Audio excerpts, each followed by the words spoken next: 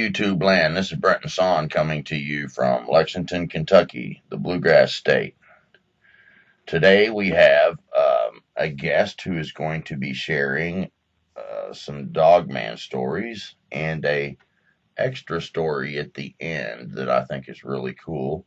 You should stick around and listen to this one. It's a bonus story, we'll call it. Um, very interesting and uh, um, I, I don't want to give it away, but it's a, it's a very awesome story at the very end. But uh, anyway, um, this fellow uh, emailed me a while back, and uh, and I've been wanting to speak with him because he's local, and I'm going to call him Mister Kentucky because he's from Kentucky. But before we get started, if anyone out there has a story they'd like to share, whether it be Dogman or Bigfoot or any kind of other cryptid or paranormal, supernatural, any kind of interesting mystery, you can contact me at brentonsawin at gmail.com and give me a brief description of what your story is and uh, contact information. Um, from there, if anyone wants to contribute to help me get this studio uh, lined out and help me with this show, uh, you can go to a link in the description uh, it's PayPal me. It's super easy to use, and I appreciate every contribution that I have received. But let's just go on to our guest here. We're going to use Mr. Kentucky uh, to give as much of an introduction for yourself as you would like to, and then just go ahead and tell your first story, and then I'll ask you questions at the end of that story, please. Okay. Well, thanks, Brenton, for having me, first of all. And thanks for what you do for uh, bringing to light these kind of encounters. I'm a simple guy. I'm kind of an outdoorsman. I like to fish a lot. Uh, pretty simple, uh, hardworking dad, you know, just a normal guy. And about 10 years ago, uh, with my first encounter happened in the Daniel Boone National Forest. Um, a friend and I were going catfishing. And we had just got there. We pulled up in a van to a certain spot where we could pull it right up to the water. It was kind of a, kind of like um, a, a real small pebbles, almost sandy part of the of the road where it touched the water because the water was up. And um, well, I get out excited with my fishing poles, and I set them down and I was getting some chicken livers on and I I hear what sounds like a like something making a, ru- a ruckus up in the up in the woods and it just seemed to be getting louder. Well, we um my friend was in the still in his vehicle trying to bait up a hook to tie up a hook and uh he said, he told me to be quiet. He said, do you hear that? And I said, yeah, I hear that. And I noticed that it was getting louder and he said, it sounds like it's on two feet and it sounds like it's running right at us. Well, the way that this vehicle was positioned, for me to get in the passenger door, I would have to go around to the side that was closer to where this noise was coming from, which I wasn't prepared to do because the hair stood up on my neck when I realized that like everything went quiet. It was an experience I'd never had before. And, uh, so I, I crawled in the back of the van. Uh, he popped the latch. I crawled in the back of the van up to the uh, passenger seat where we had a mag light and that's when it happened. I turned the mag light on and scanned about 30 feet away and I hit something in the eyes that I didn't think was real. Uh, I, it's been 10 years and I'm still, I'm trembling now just thinking about it because, you know, it just kind of brings it back. And I remember hitting it in the eyes with a flashlight. And it's something that you don't wish upon anyone to really, you know, to, to stare in the eyes of something like this. At first I thought, you know, it's a fancy, some kind of animatronic mask or, you know, it's a, you know, I, everything to deny the truth. And, uh, I talked to it. I said, you know, uh, you know, you got us, you scared us. Now come on down, you know, hoping that it would take the mask off. Uh, the way the bushes were, it was blocking it from waist down. So all I'm seeing is waist up on this thing. But the just the muscles, the the everything, the hair, everything was just too too alive. Uh, so uh, probably one of the longest encounters I think I've heard of anybody having because it, I mean, he and I talked about it. It was at least three minutes worth of uh, staring this thing in the eye from about 30 feet. And, uh, we tried to get pictures on cell phones, but they, they wouldn't come out due to the, the night and being inside a vehicle and everything. And, uh, he kept telling me to take the flashlight off of it and, and scan it back and maybe it'll move a little bit and we can see the rest of it. And after three minutes, I finally did that. And, uh, and when I put it back, it had, it had dropped down. The only place that it could have went was now closer to me. So now, yeah, the only choice we had left was to start the van and take off. It was just to get out of there. So we did, and we go back a couple days later. It happened on a Friday in November in '07 Daniel Boone National Forest, and we went back on Sunday, and we the water had risen a little more, and we walked down there, and there were two game wardens within ten feet of where we'd seen this thing, who escorted us out, who told us a story of a mountain lion and a cub that it were that they had on dash cam drinking from the that part of the lake, and escorted us out. And that pretty much sums up the first one. Uh, Okay. Besides the fear and everything, that's pretty much it. Now, um, can you give us a description of the what the creature looked like? The eyes, the fur, uh, the teeth, uh, anything like that that you saw, and um, and then the uh, game wardens, um, why do you think that they would be hiding this up? So a description and then whatever that you think the game warden is thinking, uh, kind of give us a little bit of a description of you all basically asking, did okay. you, you, because you did say something about you, um, are, because they said it was a bobcat in the area but you were saying, oh, mm-hmm. are you really here because of the that thing? Yeah, I, I did ask them that, and that's when they looked at each other and just escorted us out. They didn't have anything to say after that. They strictly wanted us out of the area right then. And this was broad daylight. And this is, you know, I'd never been, you know, escorted out like that of anywhere before. Um, so that was really unusual to me because I, I'm not a big conspiracy theory, but you know, uh, you know, an apple's an apple. Um, so it just it it didn't make sense to me, but then it did make sense. The reason you know why they were wanting us out of there, and I thought they were maybe holding back a little information. Maybe they just weren't able to tell, but I think they were aware that we knew and why we were there. Is kind of why I took it. And as far as the description goes, if you can imagine, um, I've heard, uh, you know, since this a few years ago, I started um, researching it quite a bit in books and the internet and everything, and I found a lot of people's encounters and what it, they say it looked like. And one thing it has in common, it did have the yellow eyes, and uh, the eyes were very, just very menacing, almost. Uh, like a, like it had information, you know, like it was trying to, uh, you know, talk to us with its eyes almost, you know, and whether that was get out of here or I'm going to kill you. I mean, it approached way off of a hill, a very tall hill, at a rapid speed and tearing up things to to kind of, uh,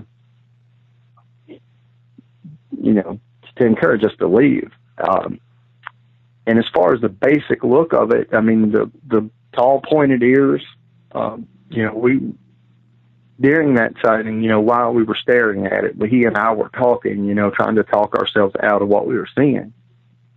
And in such a long time to sit and, and focus on it, uh, we we really the details are, are vivid because it, it was a gray overall appearance like your typical wolf, but it had shoulders like a uh, like a big man, like a like a very big person.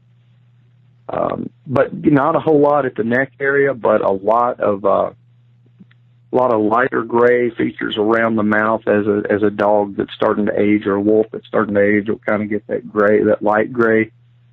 It had a lot of that around it, and I noticed some on the chest too. Like I said, I didn't see the legs and I didn't see the hands, but I could see the biceps and you know a lot of the features through the hair with that with the mag light at 30 feet, kind of penetrating some of the hair because it it wasn't super thick on the underside, you know.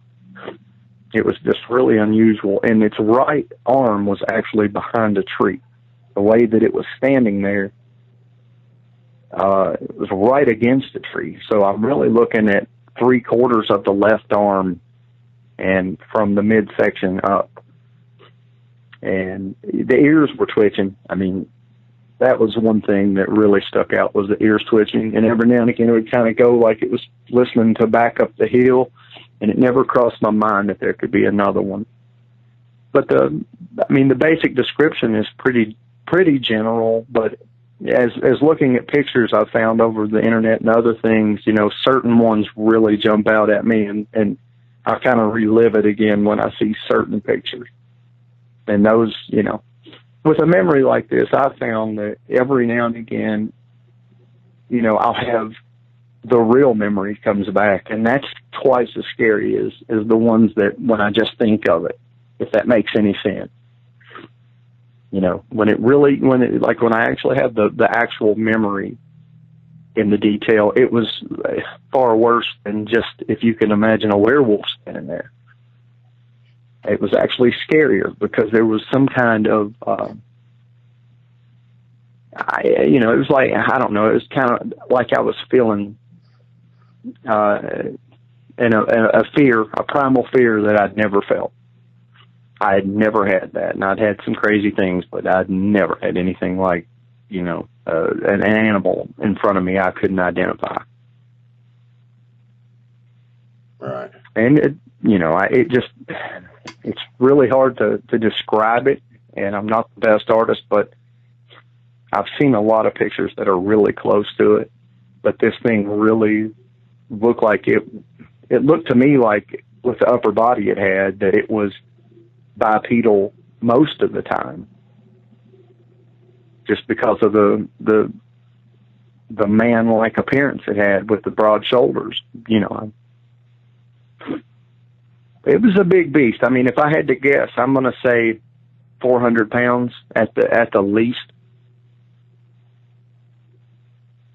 And, and at your, the least. And your friend is um around six eight, you said, and he went over there and stood in the area that it was at. Mhm. Yeah, when we went back, um, when we encountered the game wardens, we kind of were standing there and kind of marking it off and, and trying to look for tracks and stuff when we got escorted out. And my friend who's six six stood there, and he was more than a foot underneath of where it was, more than a foot, over a foot, if not two feet. Well, that's that's a huge animal then. If you know, that's, yes, that's, that's the biggest animal I'd seen at this point. Yes. I mean, that, that seems more like about eight foot. I'm going to say it was eight foot. Yeah, it was seven and a half to eight foot at at the least. Yeah, the bare minimal. But just a very, uh, just a scary animal to look at in the face. If that makes sense, it's just because we're not. I'm not used to seeing a a wolf stand with such composure. Um, this thing stood there as if that's what it did. And my friend did say, as as the noise was getting louder, he said, "Get in the get in the car because this thing's on two feet. Whatever's coming after us is coming down the hill on two feet." Excuse me. All right. So that that really stuck out in my mind. That you know, it, it, he noticed it before I did that this thing was coming down bipedal. I just I'd never had that fear. I kind of grew up in the woods and stuff, and this changed all that. Now knowing what's out there, especially here in my area where I've lived ninety percent of my life, uh, it, it's changed a lot. I'm not. It's not that I'm terrified. It's that I think I, now that I know well, these certain areas, I won't visit again. Uh, now, when yeah. it when you had the flashlight on it, it stood there with the ears twitching and what have you, um, and it didn't want to move until basically um, uh, you moved the light. So that kind of uh, seems to me that it wanted to stay perfectly still to make possibly you weren't seeing it because a lot of times with the Bigfoot encounters, the uh, dogman encounters, if they stand still, people will walk right by them. And um, the fact that it waited till you moved the light, that that implies to me that he wasn't sure exactly, or it was just instinct when a human's looking in their direction to stand still. Do you think so? Yes. Uh-huh. That's that's. I mean, he didn't move. His composure was perfect for when I hit him with the light. And after about three minutes, we've guessed it to be at least three minutes of staring at it. When I moved the light, like my friend kept suggesting, which I was afraid to do because I'm I'm the one closer to it. uh, but when I did, yeah, it, it it it had to have dropped down. I have a clear view of everything behind it and on up the, the hill. The only place that I can't see is a small ditch between me and this thing. And that's the only place it either vanished into the air or it fell on all fours and is now 10 feet from us. Yeah. And it was like the, it was, it was like it got scarier when it disappeared. And that's when we put it in reverse and we backed straight out of this, this area. So how far away was it from you? it was 30 feet with the flashlight in its eyes. When it disappeared, or when it, I mean, the only place that it, that it could have gone was a small, like laurel thicket, um, that was about 10 feet from me. So it could have been maybe 12, 13 feet right on the other side of that thicket. And it was a gully enough to hide an animal, you know, a little ditch big enough to hide an animal of that size. And it, I don't know if you've shined a, a mag light through a, through a thicket bush before at night, but you can't see the other side. You know, it's uh, everything looks like a shadow on the other side. So, yeah, at that point, you know, we were both. Uh, I don't even think we said anything. We just put it in reverse and, and left, and I don't think we talked the entire ride home. Did you think maybe that there was a another one and it was being a decoy, buying time, or allowing another one to sneak up or wanted to get away or something like that? That's a good possibility. You know, at the time, no, it was so overwhelming to see this uh, that once that primal fear set in, I didn't even think about another one being there. And this being the animal that I that I looked at, I don't think it needed another one for just two people. Uh, you know, if it was going to do damage. I, I felt like it really it could have flipped uh, the vehicle in the water.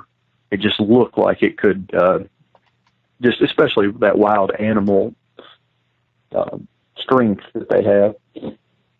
I can just imagine that it could have done enough damage by itself. But no, at the time, I didn't think that it was using any strategy to get closer or to get another one in or anything like that. It was just, uh, we knew to leave at that point when it when it apparently dropped behind that that thicket that it had only gotten closer. And at 30 feet, when you see something like this, the last thing you want is it to get any closer. All right. Wow, that's a that's a fascinating encounter, and it, uh, three minutes is a really long time to have an encounter. They typically don't last that long.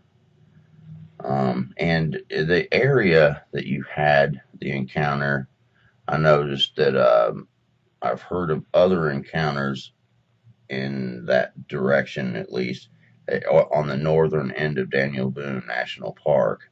The Bigfoot encounters, a lot of times I hear about in the southern end um, toward Tennessee. And then Kurt Stokes had an encounter, uh, Taylorsville Lake, which is a little bit um, west of that, but in north, you know, uh, in, in Kentucky. Um, it seems to me that the dogmen hang out kind of in the north end because even when you go to LBL, in between the lakes, the dogmen tend to be in the northern end of LBL. Do you? Uh, That's think, what I've heard. Yeah. Do you think that the dogmen uh, um, are basically sticking to to the northern regions a little bit more? It's you know eh, that's a good good point, and yeah, it seems to be that way. I mean, if, whether they're coming down from uh, you know Bray Road and or wherever, you know, it seems that they that around here that they've come from the north because even a few years ago, know, I'd read that there was a, a cemetery in the town of Ashland that even a couple police officers had an encounter with a werewolf around a cemetery up there, and I guess that that's north of here, a little northeast, but on the northern side, and I guess most of them have been. And in that same area, um, from where I had my encounter, it was about three years after my encounter. I picked up a book about mysteries in Kentucky, and uh, there was a chapter in the book called Bearilla, and uh, it was about uh, uh, a sighting in the exact same area in the same month in November in 07 when I had my encounter. So when I read that in that book, the hair stood up on my neck and I called my friend who had the encounter with me and I read him that chapter. And he was at a loss for words also. Like, you know, it validated we weren't crazy because there were a couple other sightings, you know, some credible people as well. And, you know, it just, uh, it made me think, wow, you know, I'm not crazy. Because if he hadn't been with me, I wouldn't be telling my story right now. I would have chalked it up to, you know, I, I spooked myself or something, you know. Uh, but the fact that, you know, it took him and my friend a long time to, to talk about it, even to, to mention it to me until recently and just says, "Yeah, I saw what you saw," and you know, how else can you talk about something like that? That people think you're crazy. Right. And, and so, so that know, that author, he he was calling these things bearilla. Um, probably, do you think he was calling it that because a bear has a little bit of a snout, and they're trying to keep it in the Bigfoot genre, but people are actually reporting seeing a werewolf or a dog man that's I have to agree with you. Yeah, that's kind of where I stand on it. Personally, think um, that yes, that a lot of people that are reporting, you know, Bigfoot are just. I'm sure I feel like a bunch of them are probably these dogman things because it's the only thing I've had an encounter. I'm not saying that Bigfoot's not out there by no means. I you've told me your encounter, and I know other people have seen them. I just feel like these dogmen almost get misidentified as Bigfoot more often than not. And yeah, it's uh it's a it's an unusual topic, and that, probably is why they're called you know Bearilla anything but werewolves. Who wants to hear werewolves? Right. I, I think that uh, I think that a lot of the researchers in the beginning were whenever someone reported a dogman, they were, you know, uh, writing it up as a Bigfoot, and then they was finally able to kind of morph it and say, well, it had a snout, so they're trying to make it into a Bigfoot with a snout, and then they call it Bearilla. When in the cases that I've heard, it, the the people were actually saying they saw a werewolf, and but the researcher writes it up uh, to fit what he uh, feels comfortable reporting and I'm not saying mm-hmm. that's always the case, but that's a very odd situation. And and uh, that guy told you about other encounters too, didn't he? Yes, I was. Uh, I don't want to bring his name up, but he's a a crypto guy here in the local area that I'd spoke to a couple years ago who had told me a lot of things I didn't know and was unaware of as far as the Native American um, coincidences that kind of go in with it and um, some other local stories. Um, now, I don't have a way to validate these, but um, I'd heard about an autistic kid that lived uh, in the Bourbon County area, um, on the east side of Bourbon County, um, who had uh, been attacked by one uh, and lived through it, along with a squirrel hunter whose friends uh, went to see him in the hospital, and he described what attacked him, and they went after it, and they tracked it all through the night with dogs, and cornered it in a barn, and it supposedly just in the daylight, the dogs weren't finally weren't afraid to go on in the barn, and it was no longer there. They found claw marks in the barn and so on, but it had, it had vanished on them. So yeah, this little that that area kind of had a few hits, along with uh with my second sighting was in that area. Okay, if you would go ahead and tell that uh, second sighting. Uh, okay. Yeah. My second sighting was um, right close to Bourbon County, uh, and the Montgomery County line, and uh, I have a camper. It's on a private piece of uh, land, small farm. Um, and I think it, they're called greenways, where the where the woods kind of extend in through uh, less wooded areas, where where animals will use as a highway. And a friend of mine, game warden, had told me he'd seen a bear, and I'd had other people that had told me uh, that actual a news channel, a local news channel, had pulled onto my property and shot footage of a bear in 2015 in July. I never looked into it to see if it was true, but this is what I was told was that they had uh, saw a sow and a, and a cub coming across my property, which the game warden, when he told me, I pretty much believed him. He said he'd seen a very, very big black bear come through there, which is kind of rare. But something had been destroying my garden every year, and I did find unusual tracks. so one night, uh, I'm in my camper with a friend, and uh, it's probably I don't know twelve or one o'clock in the morning, and I was beat. I was I, my day was done, and I'd laid down in the camper, and uh, my friend was still was having a couple beers and uh, calling me a party pooper, and uh, I can see the firelight um, out the uh, the plastic windows of a camper of my camper, and uh,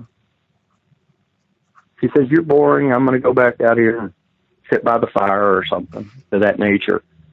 And uh, as she was saying that, uh, something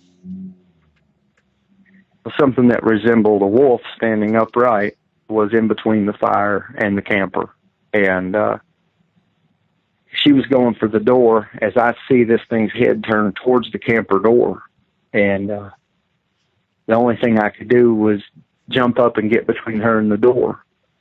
I knew if I told her what it was, you know, she was going to run out there and not believe me. And uh, I thought at the time get killed.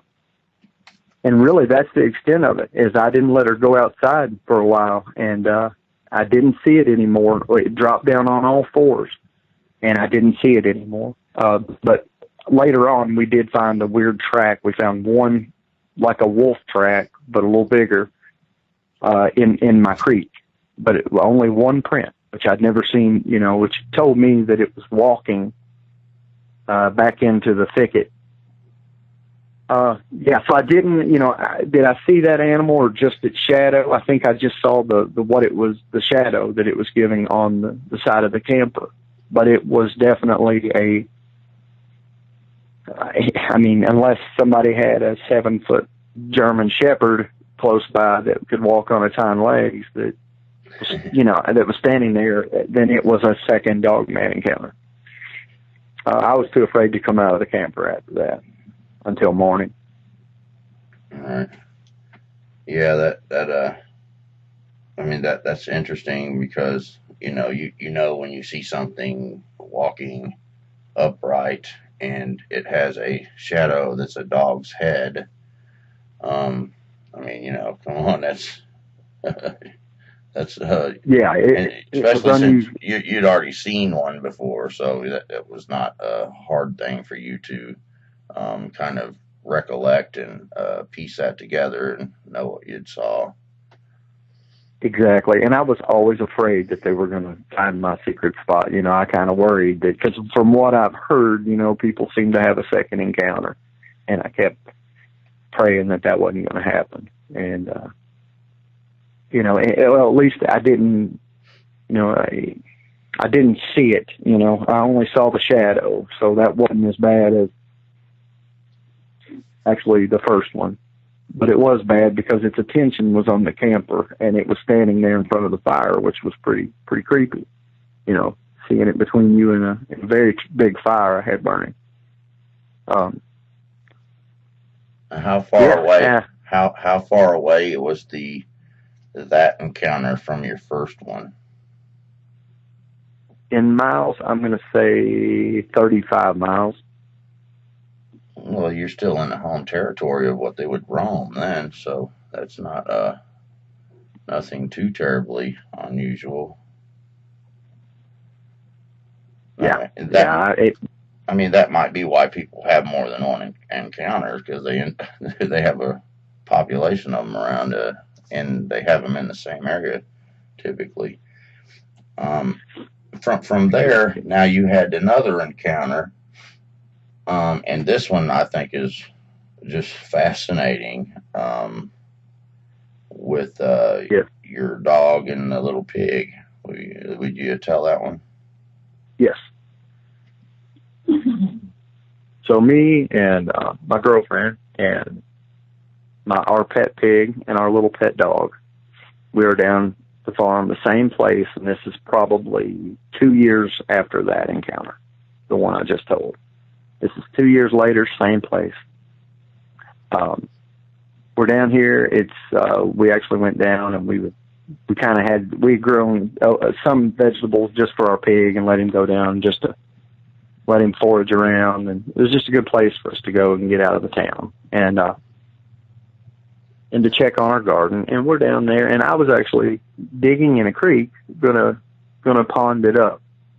And uh it's getting dark and and the area that I'm at is a uh, a property fence actually which leads to another farm which is uh totally uninhabited and all grown up and there's actually a dead patch in that area about 150 feet from where I'm at currently, there's a dead spot in the woods where nothing, where everything's dead, and uh, just an unusual dark little patch of woods, probably 15 acres or something, you know, just a creepy little patch of woods. And uh, well, I'm digging, and uh, my pig was on one side of me, and my dog on the other, and my pig whimpered and he took off and he runs and he gets under the truck, which was about mm, 60 or 70 feet away. And it was probably 10 feet from the, from the garden. And, uh, then my fiance note or my fiance notices that the pig is scared and tells me that, Hey, it's time to go. Something's not right. Pig doesn't do this she opened the door and the pig gets in the truck and puts its head under the seat like he's hiding his face and doesn't want to see. So what she's telling me is I'm digging and I'm paying no mind to it and my little dog starts growling. And he's growling and I'm and it's not dark yet, but it's dark in this patch of woods that I'm literally ten feet from. And uh I, you know, I quit digging for a minute and I'm looking. I don't see anything, and my dog's still growling. It's unlike him to do this, or the pig. Well, it's getting darker with each each second, and she's telling me to come on. It's time to go. And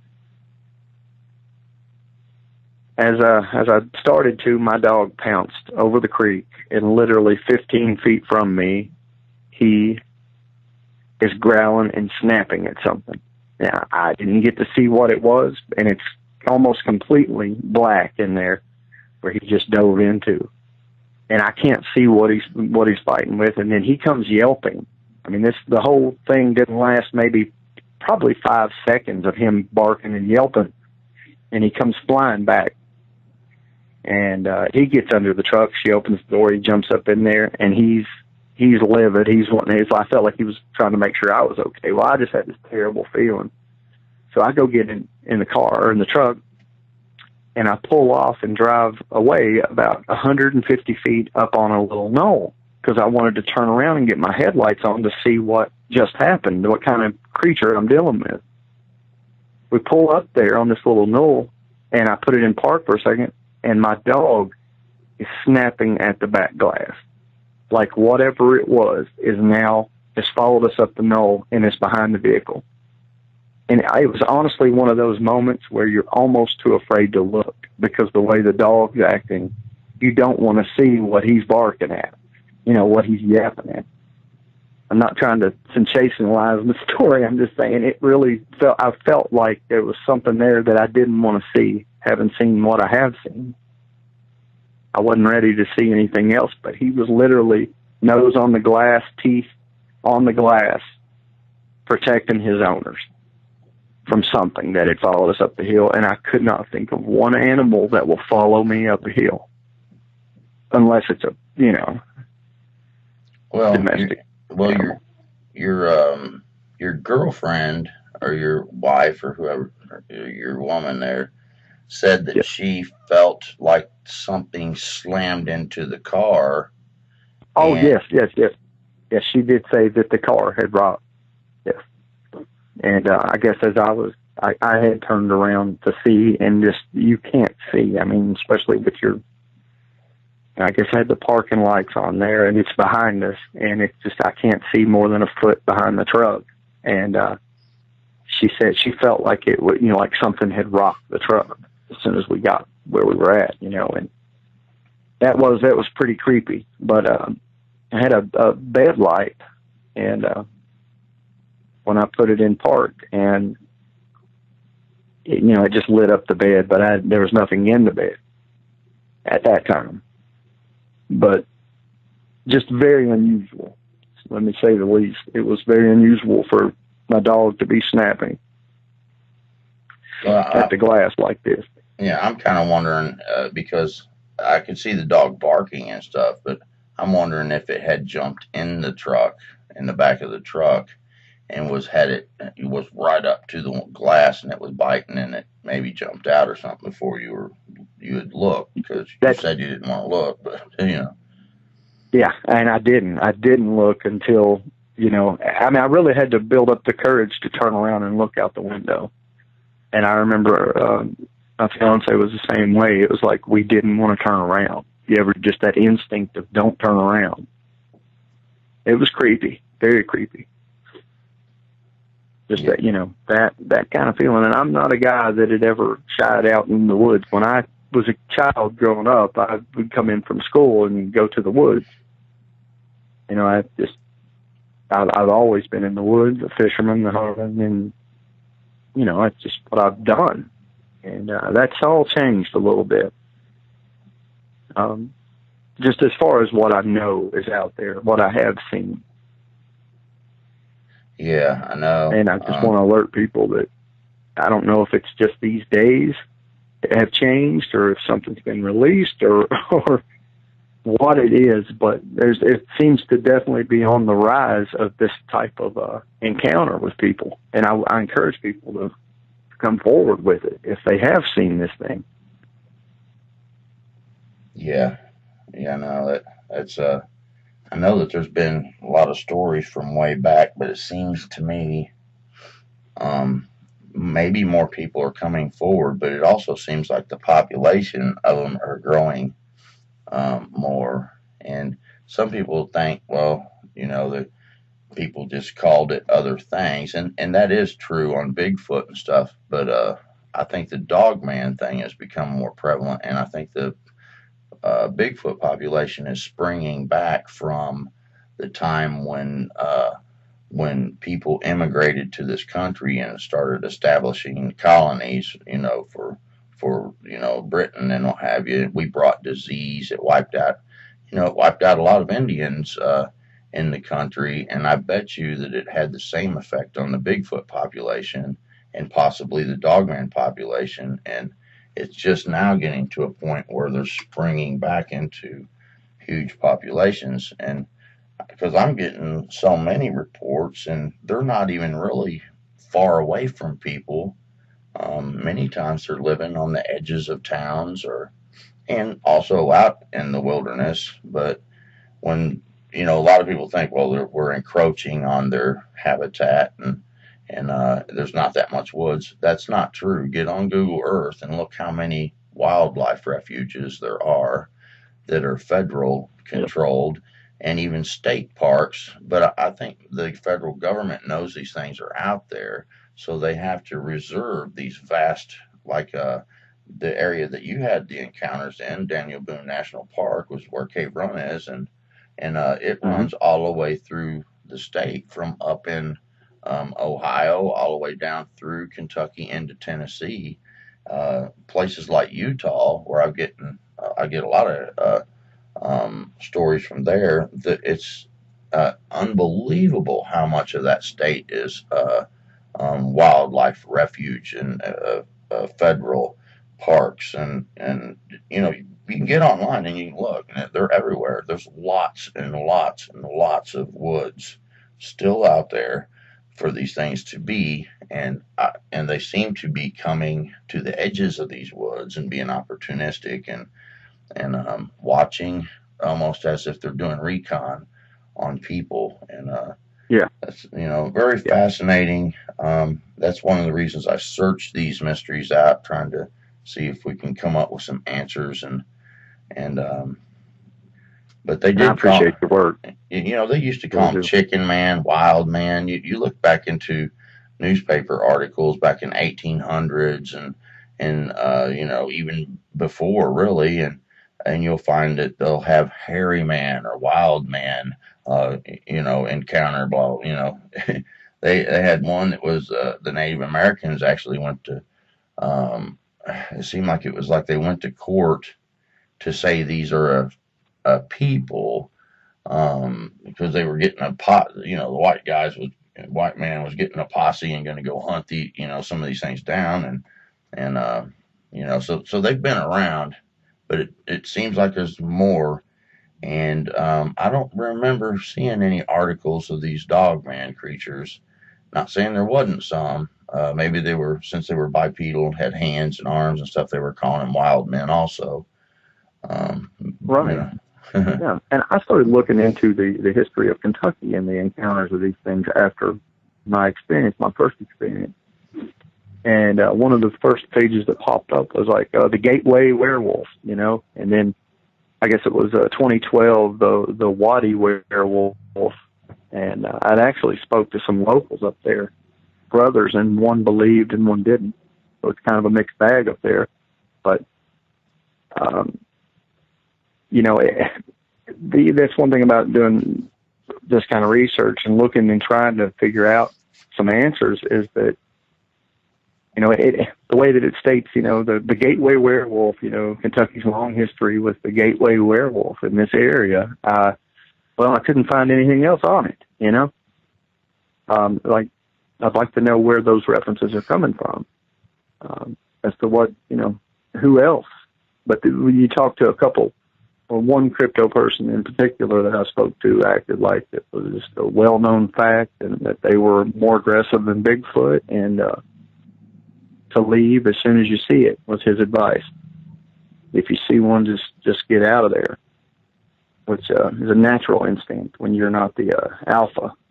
You know, to you don't need to hang around. See what happens when you're looking at something that's born to kill. Um, and an easy thing. That they that they used to call them, even overseas and stuff like in India and places like that. They had uh, um, they they basically call them cynocephali. Um, they're they were dog-headed people, but those seem to have like regular legs, not with not with the hops, you know, like we see today.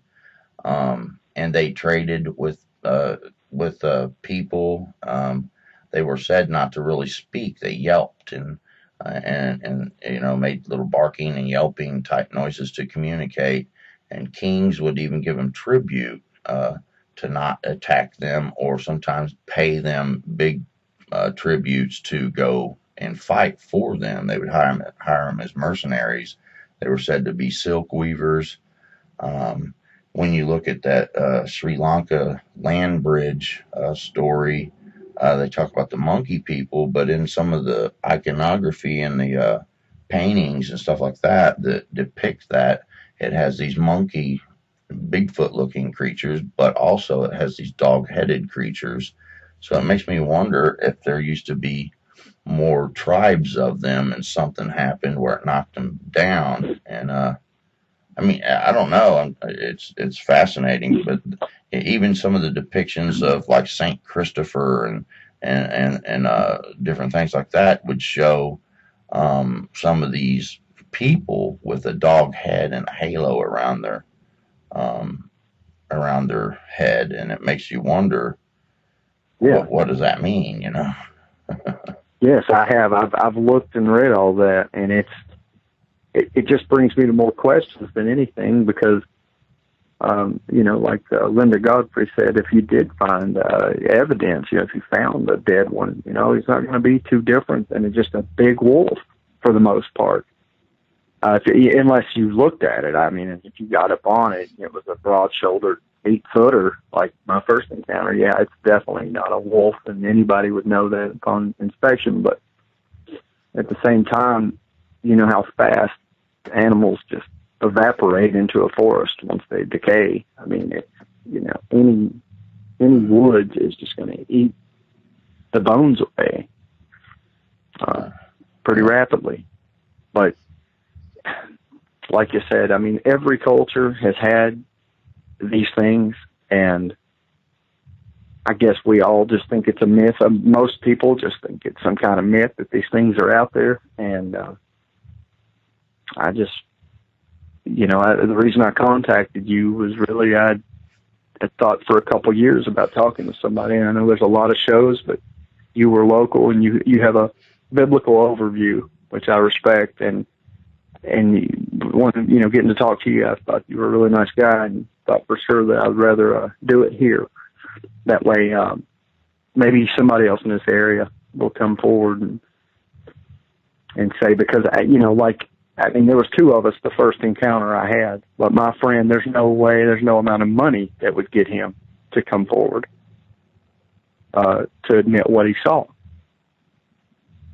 Right. Um, you know, just the kind of person he is, and it's there's no way. You know, if you ever talk to him and and uh, and you mentioned that you came on and shared the story, you can tell him it's like, look, you can remain anonymous um, you don't have to give your name, and you know I can alter your voice, and uh, you know you don't have to give away who you are. But but letting people know that these things are out there, because there's a lot of people come up missing every year in these state parks, and it's not just getting lost. Uh, there's you know the 411 books that kind of shed a lot of light on that, and the amount of people uh, coming up missing. And, and I interviewed a game warden, and basically, one of the reasons that's not public is because that what they do is even when uh, David Paulides went to these uh, park services and what have you and, and asked them about missing people reports, they said they didn't have any. And he said, I know you darn sure do. And what they do is they don't close the case. And in any kind of criminal case or a, an investigative uh, case is being investigated, as long as the case is open and the investigation is ongoing, they cannot share the information with the public, and so that's that's how they do that. Um, you have sure. one, you have one more story that uh, I thought was just awesome um, because we kind of got to talking and somehow we got off on the this uh, this other topic and uh, and it, it's one of those good stories to so you know if someone's listening to this at nighttime and a lot of people tell me I listen to this when I go to bed um, this will be a good one for you to fall asleep after you've heard this uh, last part. You won't dream of Dogman. so, if you would, uh, buddy, uh, you uh, tell this last story, please. Sure. Okay. Um, I was working in Texas, and uh, me and a friend uh, was riding with me, and my boss, uh, the foreman on the job, was uh, in front of us, and we were traveling to Salt Lake City. And uh, we left Houston on a Friday to get to Salt Lake by Monday morning to start a new job. And of course, we had drove. I couldn't tell you how many miles, but way too many miles. Um, that Friday, we got off early and drove until early Saturday morning. And uh, my boss in front of us was, uh, as we had made it into New Mexico, he was uh, he was weaving, and um, due to uh, the fatigue and just we were just I had called him and was begging him to pull over and you know next next hotel next anything. We got to sleep. It's time to sleep. Well we were speeding which we shouldn't have been doing in the first place but we were trying to cover ground. This was um, 15 years ago. Um, well he was swerving and uh, you could see a car coming from a few miles out, and um, you know, in the desert, we would pass a car maybe every hour, or every two hours, or something. And uh, it's on Interstate 40. Um, we're 35 miles outside of Clayton. Um, I was about 150 feet, maybe 200 feet behind um, my foreman as uh, and sure enough, uh, this first pair of headlights in forever that were coming, um, Lee happened to, or my, my excuse me, my boss happened to, uh, to weave over and uh, hit him head on at 80 mile an hour in a full size Chevrolet truck with about 2,000 pounds of tool in the back of the truck with a camper top on it. The other vehicle was a suburban full size, and uh, when they hit, it was like a, a bomb went off and uh, I drove through the smoke, and instantly it had that car wreck smell. And uh, I ran up to the vehicle. It was a terrible, terrible head-on collision. I ran up to to uh, my boss's truck, and he's still got his seatbelt on. He's still in position, but the dashboard is inside of his legs, and uh, uh, used a little knife that we used in that field of work uh, to to cut his seatbelt off, and I had crawled in the passenger door. The driver door wouldn't open. Uh, my friend that was with me uh, stayed with him while I ran to check on the other vehicle, and uh, the other vehicle had a man, a woman, and about a ten or eleven year old girl. And they were all banged up pretty bad. I got them out and uh, laid them together, and they were okay, but they were banged up very bad. and uh, I guess I had ran back to Lee. Uh, something I didn't tell you, Brenton, was that the the truck was on fire. Uh, his, his truck was on fire, and he's trapped inside. And I I guess I was praying as I was running. I may have prayed right when it happened, or I may have been praying the whole time. I'm not for sure. But I, as soon as I get back over to Lee, um, he had taken uh, that knife that he used to cut the seatbelt off of him, and when he saw that we couldn't get the door off and couldn't get the dash out of him, um, he had started stabbing himself to cut his leg off.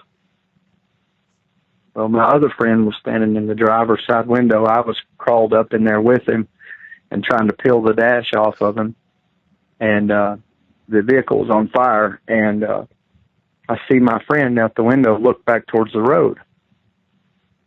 And uh, I take it there have been no cars here.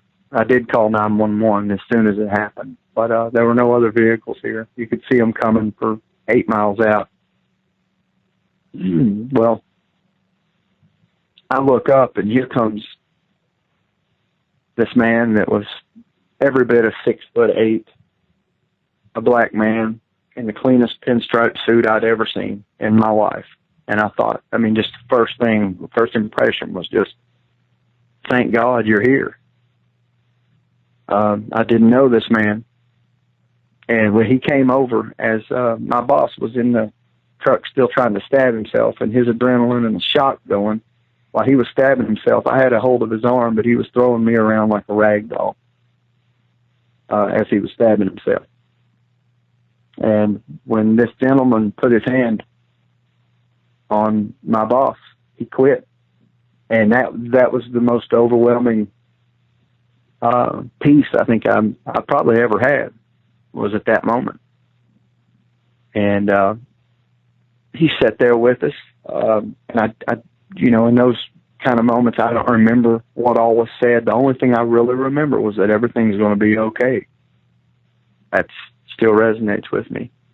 And uh, so my boss, uh, finally, the ambulance gets there, and the police were there, and uh, my my boss wanted me to ride an ambulance back to this town with him to the hospital when they got the jaws of life. Sorry, I'm a terrible uh, storyteller, but the jaws of life when they when they got there were able to get him out, and they got him on a gurney and got him loaded. Well, the ambulance driver and the police had stepped up over to the ambulance and were asking me uh, who my friend was in the suit, and uh, did he want to ride with us or was he going to ride back with uh, my other friend? And uh, and this had literally been maybe a minute from uh, from them unload, you know, getting him out of the vehicle. Uh, so as we turned the ambulance around to head back to this town, um, everybody was amazed that uh, the man in the suit was gone. Uh, the man in the pinstripe suit, he uh, he really saved the day. He, he was able to calm my friend who was about to be burned alive, um, he was able to calm him down to where he was actually smiling, and uh, it's pretty amazing. Um, And, and he, that's it. I mean, really, did he go over? He went over. Well, the other people were kind of in shock and in kind of uh, not really moving around or anything. It's kind of like they were out of it. He, uh, he, you said he went over there. He touched them also. He touched your boss, and your boss is sitting there trying to cut his leg off. Yeah, he he was stabbing himself, and as I'm trying to hold him back, he was throwing me like a rag doll. And when he touched him, it was he, he quit. I was able to get the knife back, and uh, he said uh, everything's going to be okay. And he went to the other vehicle, and I don't. eh, That's just the part is that there's no there was no ending. No, we didn't see him exit. We didn't see how he got there and it made no sense when we, uh, you know, when the ambulance turned in a 360 angle and we were able to see all the desert in every direction, and this man was no longer with us. It was uh, unbelievable. I felt um, like, you know, um, how could anyone doubt prayer works? How could anyone doubt that? right. Yeah, yeah. That's what that's what we were talking about. I'd mentioned the angel story to you, and and you had brought that up, and uh, and basically this guy pops up out of the desert. You know, you're out you're out Yeah. in the middle of nowhere, in the middle of the desert, 35 miles away from a town. He pops up Wh- when you start praying. He pops up, basically, and um, comes over there, says everything's going to be all right. Your boss is in a vehicle that's on fire. His legs are stuck in the dash, and he's trying to cut his leg off. And he touches your boss.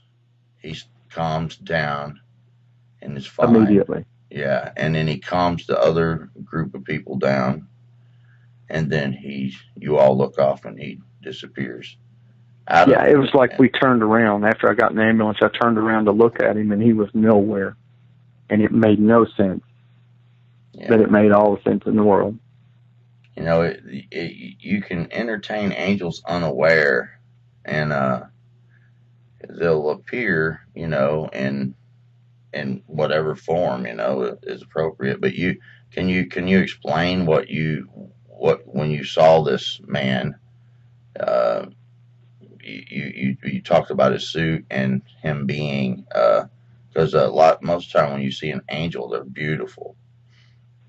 Yeah, I know. That's one thing I can say with uh, this man was uh, more handsome than than any man that could walk up to you in the desert. uh, at two or three in the morning, like that, at a uh, crash site, uh, the dusty desert. I mean, and walk up in a clean suit. I mean, and look. I mean, it just was amazing. It really was amazing. It was kind of a, you know, both of our mouths kind of open, like, wow, you know, and we just knew he was there to help. I mean, it it just uh, was unspoken. You know, it was, um, it was, you know, it just all happened so fast that it, it didn't make any sense. I do remember that the whole entire time there was not another vehicle to come down that road from the time that we sat there until we left in the ambulance. Uh, there was not another vehicle that passed, you know, through that area on the interstate. Because I mean, I guess because of the time, everything, but because you know, in hindsight, I'm thinking, how did he get there and how did he leave? And those mm. aren't. Those are I can't answer them. I, I really can't, and uh, I don't need an answer because my friend turned out to be okay. I mean, he he uh, will no longer walk again, but he is alive. Yeah, it, you know, whenever these angels show up, typically they they show up, they have a presence about them, and they walk straight to what they're going to do. They have a sense of purpose. Uh, Absolutely. And, and, they're they're immaculately put together. They're, they're, they're, I mean, they can show up in rags or something, but uh, typically they're, they're, there's something about them that is charismatic and uh, beautiful, and and when they walk, you can tell they're walking with a sense of purpose, like they're going to do something, and uh, it's quite incredible. Um, it was. I mean, honestly, when we looked up and saw him coming, that's the that's exactly what it was. He was he had a purpose. He was not going to stop until he got to Lee to uh, my boss, and as soon as he got to him, just how everything had changed was a, a miracle in itself. Yeah. How how this the situation was no longer tragic. Yeah, it well, was going to be okay. Yeah, and and and I tell you, uh, your your prayers. That was a faith building thing for you too, um, because when you when you pray, um, stuff happens. Like we we were talking about that earlier. That effectual fervent prayer of a righteous man availeth much, and um, and here you are. You you were uh, your boss. You you cared about you know, and and these other people you you cared about what was going on. So you definitely gave an effectual and you were, and it was a desperate situation, so it was a fervent prayer, and um, and then the it says uh, it, it availeth much. We were talking about that word availeth is dunamis in the Greek. It's the where we get the word dynamite from. It, it's a very powerful thing when you pray a prayer like that, and as soon as you prayed, you released that help that was was willing and waiting. Um, but I think a lot of times God can't move unless we ask because we have dominion you know and, and uh and it, mm-hmm. needs we need to ask you know some bible says that you have not because you ask not you know and so i, I just yeah. thought that was a beautiful story um and it shows how god is there many times and willing to help in a very bad situation um he, he he's he's willing to to uh, uh, dispatch that angel was sitting there already waiting.